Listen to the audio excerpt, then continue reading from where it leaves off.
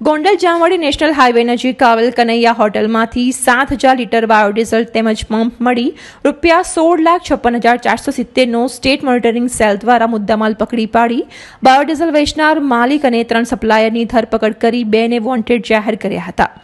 જ્યારે કાગવડ ખોડલધામ પાટિયા નજીક ગેરકાયદેસર ચાલતા બે બાયોડીઝલ પંપ પર પણ દરોડા પાડી પચીસ હજાર એકસો સિત્તેર લીટર બાયોડીઝલ તેમજ ટ્રક અને સ્ટોરેજ ટેન્ક અને પંપ મળી કુલ બાવન લાખ સાત હજાર નવસો પચાસનો મુદ્દામાલ પકડી પોલીસે બાયોડીઝલ વેચનાર મંગાવનાર તેમજ સપ્લાયર કરનાર છની ધરપકડ કરી ત્રણને વોન્ટેડ જાહેર કર્યા હતા. મહત્વનું છે કે રાજકોટ જિલ્લામાં રાજકીય વગ ધરાવતા લોકોના ગેરકાયદેસર અનેક બાયોડીઝલના પંપ ધમધમી રહ્યા છે.